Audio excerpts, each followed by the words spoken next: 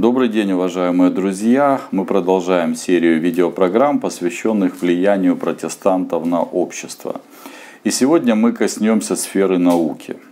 Мы поговорим о человеке, который внес э, значительный вклад в науку XIX века. Его зовут Майкл Фарадей. Только очень немногие люди, говорил писатель и ученый сэр Вильям Брех, столь значительно изменили облик мира, как это сделал Майкл Фарадей. Он был одним из величайших экспериментаторов и мыслителей нашей страны. А другой писатель говорил о Фарадее так. Весь мир электричества берет свое начало с простого опыта, проделанного в Королевском институте одним из величайших ученых всех времен. Он открыл, открыл электромагнитную индукцию, лежащую в основе современного промышленного производства электричества и многих его применений. Создал первую модель электродвигателя. Среди других его открытий первый трансформатор, химическое действие тока, законы электролиза, действие магнитного поля на свет, диамагнетизм. Первым предсказал электромагнитные волны. Фарадей ввел в научный обиход термины ион, катод, анод, электролит, диэлектрик, диамагнетизм, парамагнетизм и многие другие. Э, конечно же, э, перечисленные достижения дают основания утверждать, что Майкл Фарадей оказал влияние на общество, которое ни с чем не сравнимо или, пожалуй, сравнимо, конечно же, но сопоставимо с влиянием выдающихся умов 19-20 э, веков. Э, при этом Майкл Фарадей нам интересен не только этим, а тем, что это был глубоко верующий человек, член протестантской общины, и его взгляды, его мировоззрение э, нередко становились известными для тех, кто его окружает, для близких людей, для близких друзей. В юности Майкл ни разу не пропустил воскресное богослужение в той церкви, которую он посвящал, э, посещал в Лондонском Сити. Э, община христиан, которую он посещал, твердо верила в Библию как непогрешимое Слово Божье. И именно здесь, в этой общине, через простые проповеди, Э, Фарадей приобрел ту веру, которая оказала влияние на его жизнь и стала для него самым драгоценным сокровищем в мире.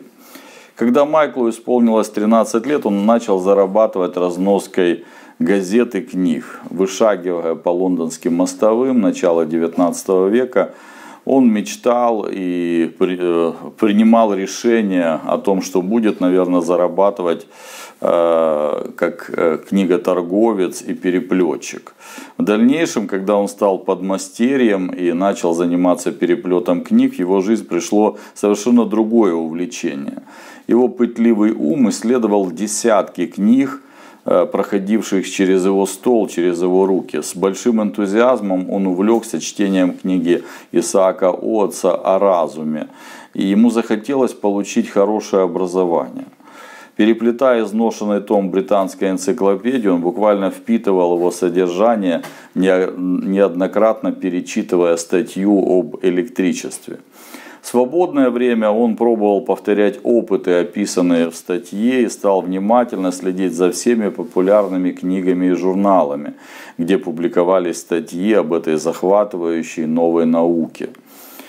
Благодаря своему воспитанию Фарадей твердо верил, что люди хотя и могут делать э, много хорошего, но по сути порочны и грешны и также знал о необходимости личного обращения ко Христу, которое изменяет жизнь человека. Эти убеждения составляли его веру с самых юных лет. Но к тому времени, когда ему исполнилось 22 года, и когда он стал посещать э, лекции известных ученых, э, эта вера подверглась сомнению.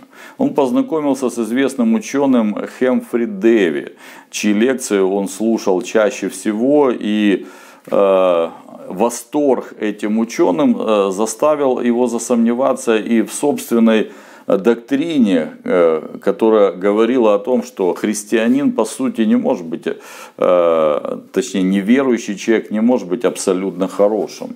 Ему казалось, что Хемфри Деви, известный ученый, это как раз добрый, душевный, обаятельный человек, который показывает собой, что можно и без веры быть хорошим, можно и без э, отношения с церковью э, подавать пример добродетели и благочестия. Э, фактически, э, в конце концов, э, Майкл Фарадей стал ассистентом этого великого ученого и э, в близком общении убедился, насколько правильным были его юношеские убеждения. Э, так вот бывает, да, когда ты со стороны смотришь на звезду э, научного мира или какого-то другого, и кажется, что эта звезда без изъянов, но достаточно познакомиться поближе, провести какое-то время в близком общении и э, мнение меняется. Также изменилось и мнение Майкла Фарадея о своем э, великом наставнике Хэмфри Дэви. После двухлетнего путешествия с ним по Европе он все еще питал чувство уважения к Хэмфри Дэви как человеку науки, но личные качества его характера уже не вызывали у Фарадея никакого восторга. Фарадей с радостью вернулся в родной семейный круг, где он чувствовал теплоту сердец, а также посетил свою старую церковь, чтобы поучиться мудрости у простых и добродушных старцев. А, остались фразы, высказывания, фрагменты проповедей Майкла Фарадея, который а, был рукоположен еще и на дьяконское служение в своей общине. Эти фразы показывают, что Фарадей был очень здравомыслящим и рассудительным христианином. Это человек, который, имея за собой многие научные достижения, являясь светилом в области науки, при этом сохранил простую, э, настоящую, искреннюю веру. Из э, одной из проповедей Майкла Фарадея я процитирую фразу. «И потому, братья, мы должны превыше всего в мире ценить привилегии знать истину Божью. Чем яснее нам является совершенство закона Божьего, исполненного во Христе, тем больше мы благо, должны благодарить Бога за Его удивительный дар. Еще одна фраза. Э, Книга природы, которую мы должны читать, написана перстом Божьим. Э, вы знаете, э, красивые фразы, они приобретают особый вес, когда ты понимаешь, кто их сказал. Ведь э, замечательные высказывания могут э, принадлежать человеку, который не имел никаких достижений в области науки, или человеку, которого считают одним из светлейших умов XIX века. Лорд Кельвин, еще один известный изобретатель, современник Майкла Фарадея, писал так, что всю свою жизнь э, Фарадей твердо держался своей веры. Я хорошо помню, как во время конференции Британской ассоциации в Абердине и Глазго он искал место, где собиралась его церковь. Великий ученый, прибывший на конференцию, искал место, где можно встретить братьев и сестер и поучаствовать в богослужении. Я думаю, прекрасный показатель э, евангельского христианина – прекрасный показатель э, веры в обычных бытовых житейских вопросах. Последние годы, несмотря на состояние здоровья, Фарадей периодически занимается научными исследованиями. В 1862 году он выдвинул гипотезу, что магнитное поле может смещать спектральные линии. Однако оборудование тех лет было недостаточно чувствительно, чтобы обнаружить этот эффект.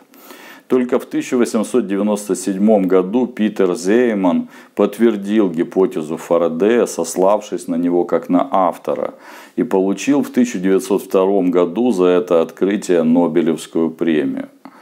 Фарадей э, не дожил до того периода, когда начали вручать Нобелевские премии, но совершенно очевидно, что он был бы одним из, э, их, из ее обладателей.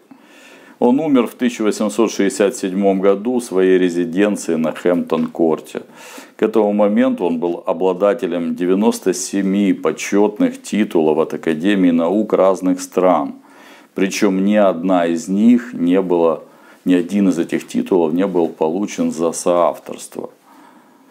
И хотя мысль о смерти напоминает о суде, который гораздо страшнее любого наказания, утверждал Майкл Фарадей перед смертью, гораздо страшнее любого наказания за нарушение законов этого мира. Смерть также напоминает христианину и о том, кто умер, был судим и воскрес, чтобы оправдать верующих в Него.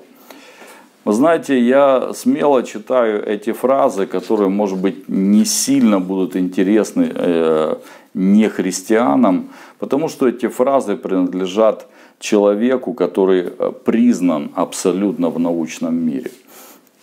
Это авторитет с его с научными работами э, считают за привилегию, за естественные условия ознакомиться физики, которые занимаются Э, в, область, в области электричества, которые занимаются в тех сферах, в которых Майкл Фарадей просто прокладывал первые шаги. И вы знаете, э, еще одна мысль, которую я хотел бы сказать. Э, разочаровавшись Хемфри Деви, как в человеке, сам Майкл Фарадей никогда не подавал повода разочароваться в нем, как в человеке с большой буквы. Майкл Фарадей э, дважды получал приглашение возглавить Королевскую академию наук, и он дважды отказывался от этой позиции. Его хотели возвести в рыцарское звание, как многих других известных ученых, как, например, Исаака Ньютона, но он от этого тоже отказался, не считая себя достойным или необходимым этого титула. Э, Майкл Фарадей имел определенные моральные принципы. Э, например, когда началась Крымская война, в которой Англия участвовала против Российской империи, э, и ему предложили участвовать в разработке химического оружия, Э, он категорично сказал, что он не будет принимать в этом участие, поскольку это аморально. Это не соответствует его мировоззренческим принципам. Э, вот такой был человек, христианин и ученый Майкл Фарадей. Если вам понравилось это видео, вы можете поставить лайки, можете сделать репосты этого видео. И в зависимости от того, какие отклики приобретает эта программа, мы вернемся к ней после определенного перерыва. Э, прежде чем завершить это видео, я хочу предложить вам ответить на два вопроса. На два вопроса в комментариях э, для того, чтобы проверить вашу эрудицию. Первый вопрос, что измеряется той физической единицей измерения, которая носит имя Майкла Фарадея. И второй вопрос, кто подарил Майклу Фарадею резиденцию на Хэмптон-Корт. Э, спасибо за ваши ответы, спасибо за ваши комментарии. Буду рад вернуться к подобным передачам и к подобным темам в следующих программах.